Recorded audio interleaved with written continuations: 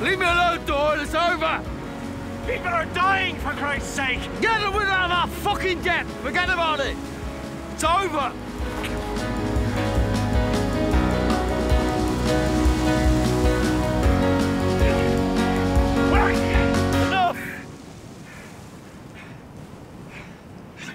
We're not getting up now! I can't. I can't do it, Doyle. I didn't ask for this. Nobody asks for this.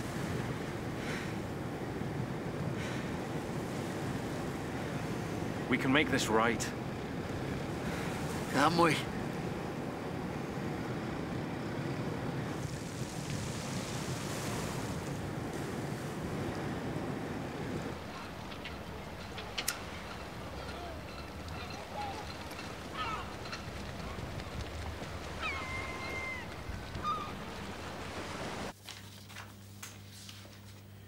You all right, Janet? How's the leg?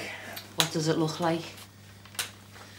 Working late again? Yeah, well, someone's got to, haven't they? Do you know, I can't help but think we're missing something here, Janet. You know, I just know it. I might have what you're looking for, boss. Really? What do you got for me, Janet? DNA and the hairs pulled from the Everton murder came back. Yeah? Go on. Belongs to Patrick Stacey. Previous incidents of indecent exposure, violence, and get this. He's worked with Adam Carving for a few months in a restaurant. You're fucking with me. Come on, Janet. I love you. That's off, you swine.